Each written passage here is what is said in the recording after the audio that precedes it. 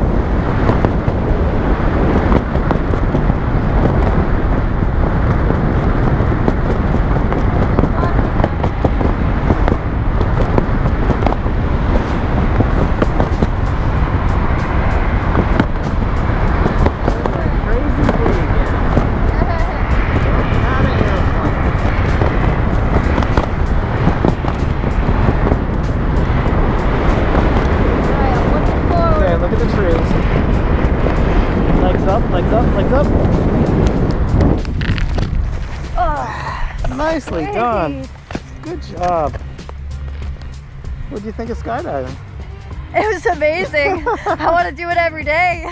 Pretty cool, isn't it? Heck yeah. All right.